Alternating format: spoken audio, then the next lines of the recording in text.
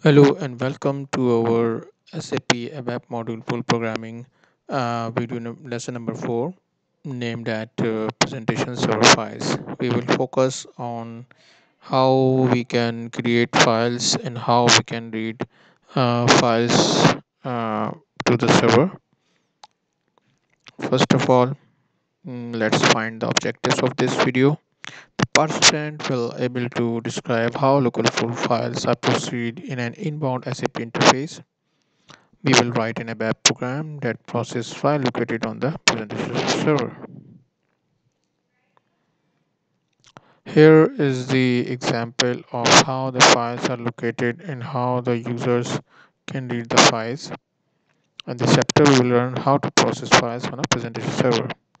Uh, there are basically there are three tier architecture lies in every uh, in every client server environment. First of all, the database server where all the data is stored and uh, the file data can also be stored on the data server each and every uh, everything and which we want to be permanent in the database we use to save into the database server. The second thing is uh, application server where all the application logic where all the application source uh, of every program and every transactions source code and other files important files lies into the application server. And the third one is presentation server. Presentation server can be any desktop uh, terminal or the, or any terminal or any uh, client side where user can interact and where user can send the uh, request or uh, read read any uh, files data easily. Use of internal table the use of internal table is very uh, very very important in respect to reading the file or in respect to load our file into the server. When we want to uh, cre- uh, when we want to uh, upload a file to the uh, to the server we will have to um, we will have to transfer all the contents of the uh, file to the internal table and then the tra- then then we transfer the data of internal table to the database. Secondly if we want to read the uh, read the uh, read the contents of database. And we want to download mm, download uh, all the information uh, in our local uh, local machine.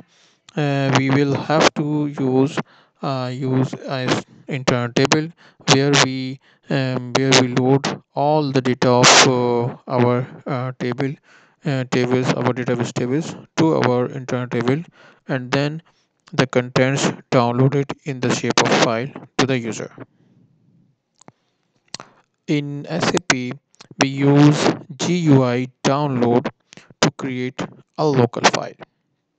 It's mean uh, any data anything or uh, if we want to download uh, the data of uh, uh, any uh, particular information we will use GUI download file where we give uh, the file name the file type and uh, um, the append structure and write field separator where uh, either it is it can be a comma or it can be the other uh, separators which are available.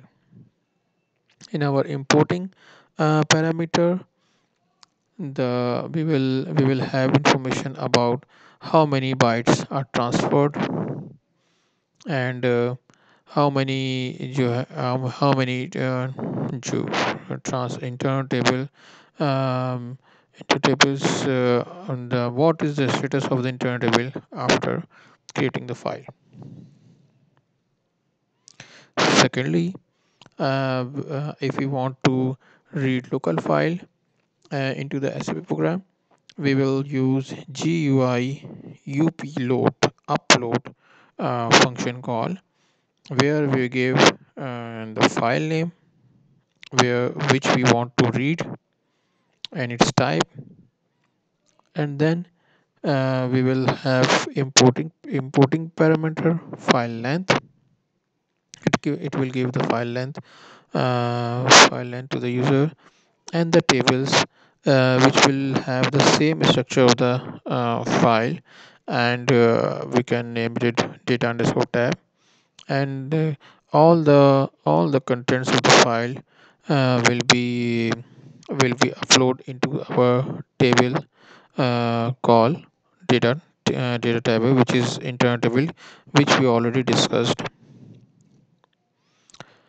If we summarize our video uh, we will to create a local file you must transfer the contents of the internal table to read a local file you must read the contents into an internal table its mean internal internal table has a vital role in reading and uploading the file to the application server. You can use the function module GUI download to create a local file. Hope you uh, hope you learn something from this video. Bye bye